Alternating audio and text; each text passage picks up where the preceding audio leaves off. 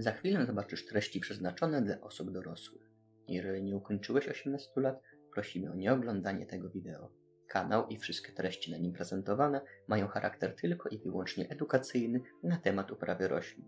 Nie ma i nie będzie tu treści dotyczących palenia, waporyzacji ani żadnej innej formy zażywania substancji psychoaktywnych, promowania takich czynności ani nakłaniania do nich. Pamiętajcie, uprawa konopi indyjskich w Polsce jest ściśle regulowana, nie radzę nikomu tego robić. Na szczęście moja uprawa nie mieści się w Polsce, czego i Wam życzę. Witajcie na kanale Szkoła Zioła. Zapraszam do nowo powstałej społeczności na forum.szkolaziola.pl. Możecie tam zadawać mi pytania, a w przyszłości mam nadzieję też innym growerom. W tej lekcji podsumuję główne założenia używanej przeze mnie metody oraz najważniejsze wskazówki uprawowe. Zaczynamy. Metoda. To nie jest moja metoda prywatna, którą mam patent, papiery i o sobie przywłaszczą w jakikolwiek sposób. Nie. To zlepek różnych technik, w większości na podstawie wiedzy mojego sensei GT z kanału Welcome to the Growten. Po prostu zebrałem wszystko, czego się nauczyłem i czego na co dzień używam, spójną i mam nadzieję łatwo przyswajalną całość, która ułatwi start początkującym growerom. Umiar i progres. Ze wszystkim zaczynamy od małych ilości i stopniowo zwiększamy intensywność w miarę wzrostu rośliny. Mam na myśli pojemność doniczek, częstotliwość podlewania, moc światła i podłoża. Wszystko progresywnie zwiększamy wraz z rozwojem planta, obserwując jego reakcję. I w przypadku negatywnej cofamy zmiany i dajemy roślinie kilka dni na rekonwalescencję. Progresywne światło. Dla sadzonki zaczynamy od 25% mocy końcowej lampy na kwitnienie. Potem 50%, 75% i 100% odpowiednio na beka, kwitnienie i późne kwitnienie. Szczegóły w odcinku światło i ciemność. Łapcie zakładkę. Doniczki i przesadzanie. Każdą moją uprawę konopi sezonowych, fotoperiodycznych zaczynam w kiełkowniku, który można zastąpić plastikowym kubeczkiem z dziurkami w dnie. Po około 10 dniach od wykiełkowania przesadzam do kubeczka półlitrowego. Następnie po około dwóch tygodniach do doniczki 3-litrowej, a po kolejnych dwóch do 11-litrowej i ostatecznie kończę w 26-litrowej na kilka dni przed przełączeniem światła na 12-12 i rozpoczęciem okresu kwitnienia. Oczywiście nie trzeba tyle razy przesadzać, ale początkującym albo przelewającym polecam. To najlepszy sposób na prostą naukę podlewania i nieprzelewania roślin. Generalna zasada z przesadzaniem jest taka, że jeśli patrząc od góry nie widzicie już doniczki, to czas na większą. Do czasu, bo oczywiście w trakcie kwitnienia już nie przesadzamy pod żadnym pozorem. Automaty kiełkujemy od razu w docelowej donicy, nie lubią przesadzania i wystarczy im 11 litrów. Podlewanie. Dobra woda o niskim IC lub filtr odwróconej osmozy, podlewanie do ranofu bez przelewania, sprawdzanie pH i IC wody i ranofu to wasz klucz do sukcesu, dopóki nie nabierzecie doświadczenia i wyczucia, żeby robić to bardziej na oko. Zajrzyjcie do odcinka Woda i podlewanie w zakładce. Nawożenie.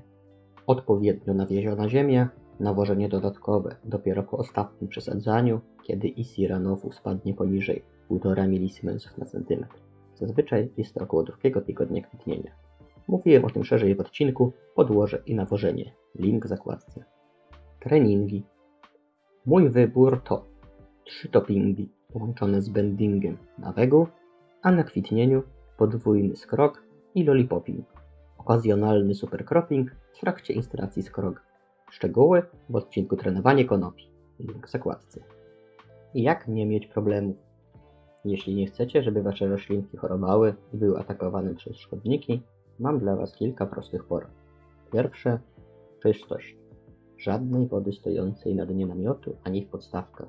Żadnych śmieci i liści na podłodze, w doniczkach. Ma być jak najczyściej w namiocie i w pokoju, w którym on stoi. Po drugie, zdrowe rośliny. Szkodniki nie atakują zdrowych i silnych roślin. Nie przelewajcie, nie przesadzajcie z nawozami, nie stresujcie za bardzo i problemy nigdy się nie pojawią. Po trzecie, ziemia okrzymkowa. Co dwa tygodnie posypcie nią powierzchnię ziemi i zostawcie na 24 godziny suchą. Jeśli były tam opady, to tego nie przeżyją. A potem normalnie podlewacie i ziemia okrzymkowa stanie się źródłem krzemu, który wzmocni ściany komórek waszej roślinki. Po czwarte, jeśli byliście w lesie, ogrodzie, na łące czy polu, przed wejściem do pokoju uprawowego weźcie prysznic i zmieńcie ubrania na czyste. Najczęściej to grower wnosi szkodniki na sobie. Dziennik, kalendarz. Wszystko zapisujcie. Co, ile, kiedy, która roślina. Przy podlewaniu, nawożeniu, zmianach w oświetleniu, zmianach w ustawieniu wiatraków, przesadzaniu czy treningu. Wszystkie czynności, zmiany, obserwacje i ważne daty, jak na przykład dzień przełączenia na kwitnienie. Na luzie. Bardzo ważny jest spokój. Nie robić nic w pośpiechu i stresie. Jak jeden albo kilka liści zmieni lekko kolor, to nic się nie dzieje. Jak kilkadziesiąt, to co innego i trzeba zacząć szukać problemu.